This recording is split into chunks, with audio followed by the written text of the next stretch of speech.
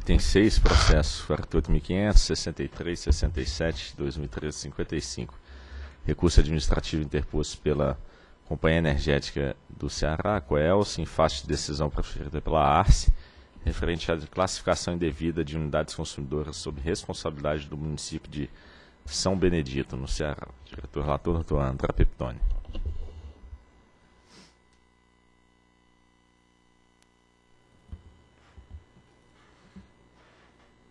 Senhores diretores, aqui trata-se de um processo já consagrado do que diz respeito da atuação da ACE sobre a concessionária Coelce de multa de unidades consumidoras no, em municípios, aqui no caso em apreço ao município de São Benedito.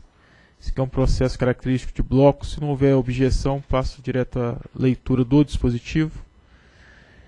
Então é o que eu faço nesse momento, com apoio nessa fundamentação e no disposto no processo 48.500.006367-2013 de 55, voto por conhecer do recurso administrativo interposto pela COELS no mérito negar e provimento, manter a decisão exarada pela ASA, estabelecendo que a concessionária efetue a devolução em dobro de 2.539.636 kWh, que deverá ser somado ao produto de 41.083 kWh pelo número de meses após julho de 12, em que se deixar de excluir a carga do QIP no município que já estejam sendo medidas e determinar que essa decisão seja cumprida em até 15 dias após sua publicação e que a COELSE exclua as cargas remanescentes, devolva os valores cobrados a maior em moeda corrente até a primeira fatura posterior à cientificação pela COELSE da determinação da ONEL que devolva atualizado, utilizando a tarifa em vigor nos últimos 30 dias anteriores à data de devolução,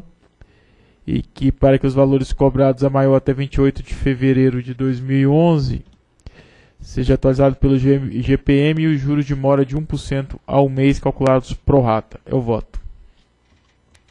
Em discussão. Em votação. Eu voto com o relator. Também voto com o relator.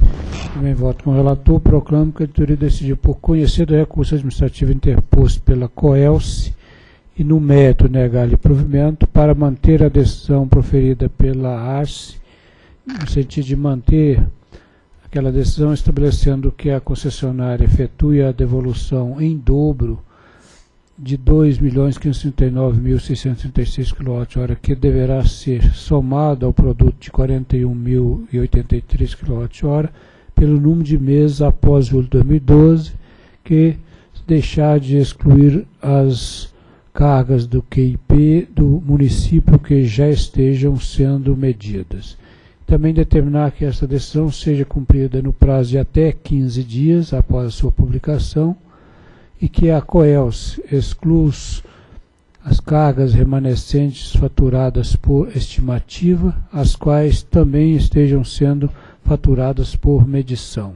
Devolva valores cobrados a maior em moeda corrente até o primeiro faturamento posterior à cientificação pela COELS da determinação da ANEL, em consonância com o que dispõe o artigo 76 da Resolução 456-2000, e a devolução atualizada utilizando a tarifa em vigor nos últimos 30 dias anteriores à data da devolução para os valores cobrados a maior até 28 de fevereiro de 2011.